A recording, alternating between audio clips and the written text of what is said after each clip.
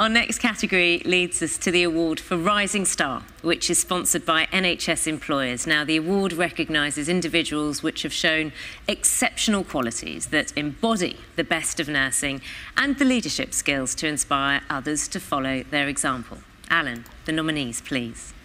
Well, we have 12 nominees in the running, and they are Lyndsey Bibby, Spectrum Community Health, CIC, Tanya Cannon, Coleridge Medical Centre, Rihanna Collier, Royal Brompton and Harefield FT, Sophie Daniels, Guild Gildan's Group Practice, Nicola Farnell, the Royal Wolverhampton NHS Trust, Sergeant Lucy Lawton, HM Forces, Edisil LaRusso, St George's University Hospitals FT, Julia Shaw, Great Ormond Street Hospital for Children, FT. Charlotte Smith, Royal Papworth Hospital, FT. Naomi Nadine Thickett, Swansea Bay University Health Board. Emily Waits, the Royal Wolverhampton NHS Trust. And Zara Zaman, Barts Health NHS Trust. Now, to reveal our fourth winner, I'm going to hand over to category sponsor Liz Gambrell, who's Interim Director of Engagement for NHS Employers. Hello. My name is Liz Gambrell from NHS Employers, and I'm absolutely thrilled to be presenting the Rising Star category at this year's Nursing Times Awards.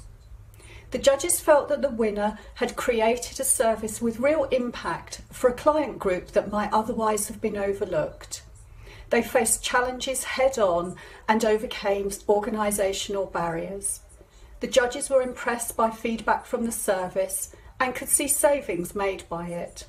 A clear leader, our winner designed the service and delivered the training while still being a band five, which is really impressive.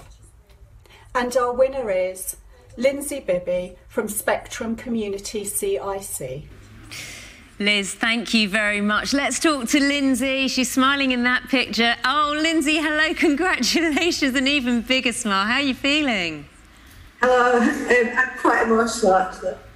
Well, that's completely understandable. The work you do is important, and being recognised, I suppose, is is also important. Tell me about the team behind you.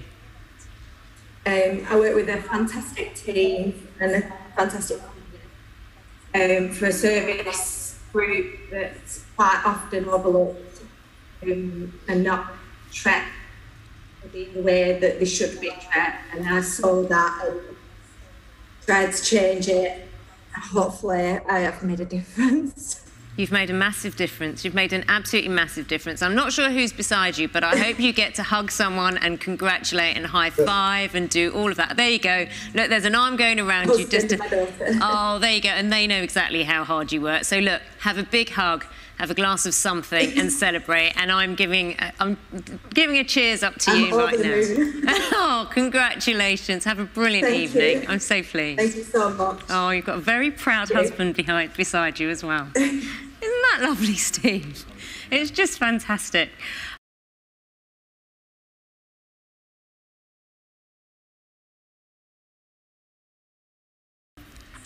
Now, next, we have managing long term conditions. This award aims to recognise initiatives that have improved services for patients with one or more long term conditions. So, Alan, how many have been shortlisted? We have 11 on the shortlist, Naga. Here they are Aneurin Bevan University Health Board, Belfast Health and Social Care Trust, Care UK promoting dignity at the end of life, HM Prison Oakwood.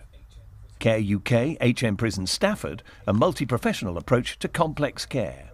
East London FT, Lloyd's Pharmacy Clinical Home Care, Neuro Response CIC, Spectrum Community Health CIC, University Hospitals of North Midlands NHS Trust, Whittington Health NHS Trust, and Wirral Community Health and Care FT.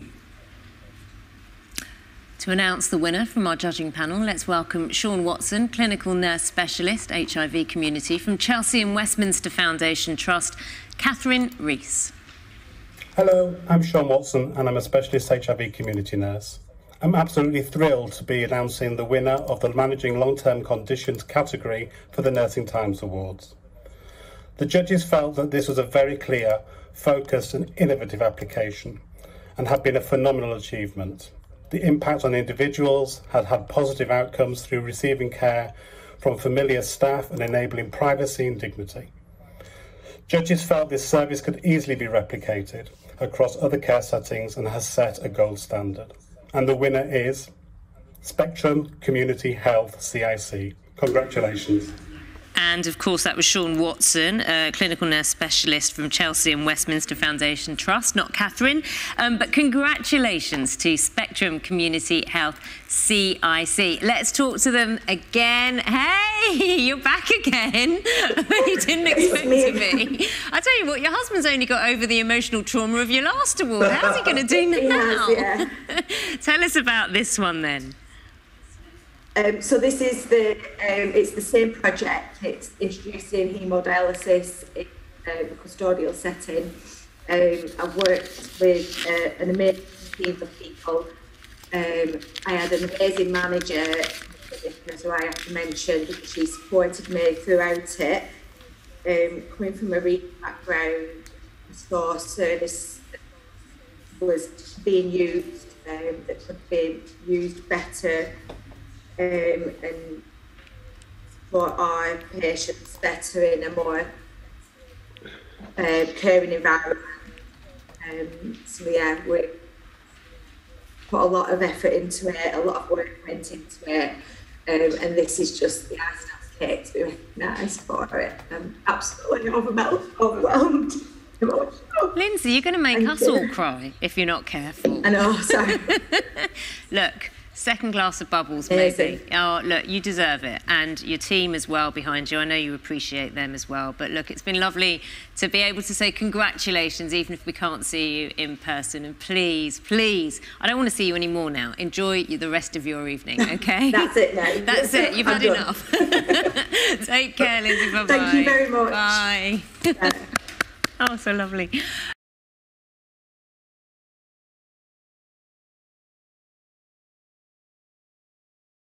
We've reached the final award of the evening, and of course, it's a big one. It's the Florence Nightingale Nurse of the Year Award, sponsored by Spire Healthcare. During the International Year of the Nurse and Midwife, the Florence Nightingale Nurse of the Year Award aims to recognise a special individual who's gone above and beyond what is expected of them in their day to day role. Alan, for the final time, would you reveal the nominees?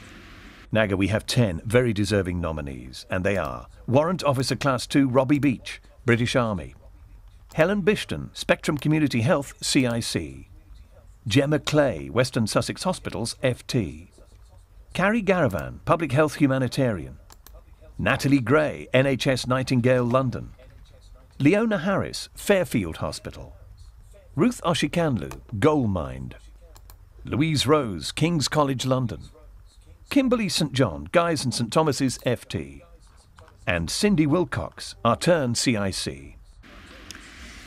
Now, before announcing this year's winner, Nursing Times would like to take a moment to pay tribute to Kimberley St John, who sadly passed away this summer. Colleagues said Kim transformed palliative and end of life care through learning and innovation she was an inspirational and visionary nurse who transformed so many people's lives through her honesty and passion and brought so much comfort to all who came into contact with her. Kimberly represented the very best in nursing through her passion and commitment, and she made things happen that will have a lasting effect on patient care.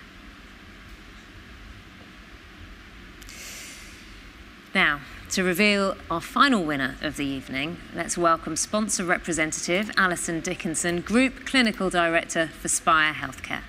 Hello, my name is Alison Dickinson, Group Clinical Director for Spire Healthcare. I'm absolutely thrilled to be announcing this year's winner of the Florence Nightingale Nurse of the Year category for the Nursing Time Awards. The judges said that the candidate demonstrated passion, drive, and patient centred care to overcome barriers and delivered a service to improve health inequalities. And the winner is Helen Bishton from Spectrum Community Health CIC. Alison, thanks very much, and huge congratulations to Helen, who we can talk to now. Helen, hello. You know, you are an exalted company. You would have heard that shortlist, and you've been recognised for your achievements. Tell me who who supports you? Because you've supported so many with a, a very long and established career, but who's supporting you? Oh gosh, um, I'm just really, really overwhelmed to get this award. Um, I really want to thank my manager because he's in hospital at the moment with Hawaii. Um, but he supported me in everything that I do. And I just can't thank him enough. And obviously, I've got a fantastic team of nurses, allied health professionals who I work with. Uh, I work in a, an environment and as um, um, not very glamorous, but it's very rewarding. Thank you. Well, you know, um, I'm going to give you, Helen, um, the final word as the final of our winners tonight. Would you like to say anything to all of those who've been watching this evening, who are in your sector, who are trying their damnedest and their hardest in really challenging times?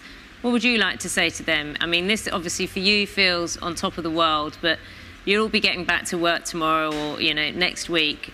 Do you want to say something just to, to just show everyone why it matters? I just want to say we all do it an amazing job for amazing people every day, and I think everybody, every nurse deserves this award. I just can't believe, I just can't believe this. Well, Helen, I think you've encapsulated the mood of the evening, um, and you deserve this, obviously. Um, thank you. I hope you get to celebrate. Good luck to your manager as well, who's, who's unwell at the moment. Um, and thank you for your lovely words. I'm sure you'll, you'll be lifting many a spirit today. Thank you.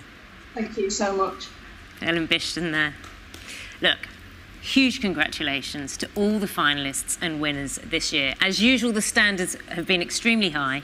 All of you should be proud of your achievements. Don't forget, if you do want to find out more about our winners and finalists, you can head over to the shortlist page on Swapcard, the virtual event platform where you can read more about the entries or contact finalists directly. I would personally like to thank each and every one of you out there. The work you do day in, day out is so important.